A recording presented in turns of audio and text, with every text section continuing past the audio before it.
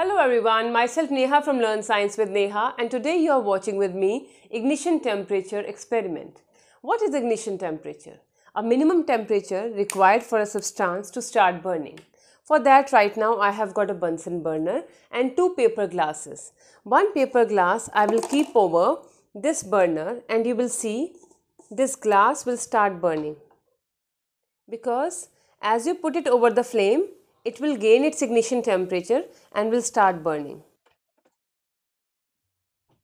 So see, so glass has started burning. Now what I will do, I will put some water in the glass and you will see glass will not burn besides I have kept it over the flame also.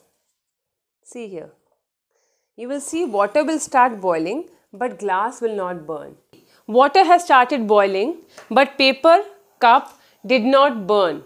Why? Because water has got wonderful hydrogen bonding.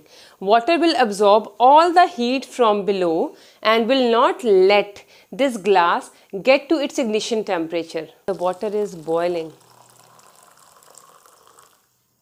Now to your surprise, I will fill this glass with water and will burn it over. So this much is the water I have filled.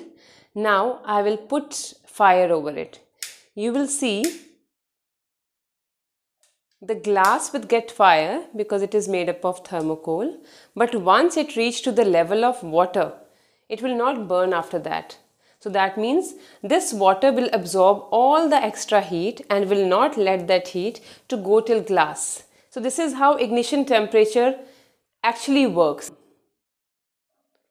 If you like my video, do share, subscribe to my YouTube channel and press the bell icon to get the regular updates.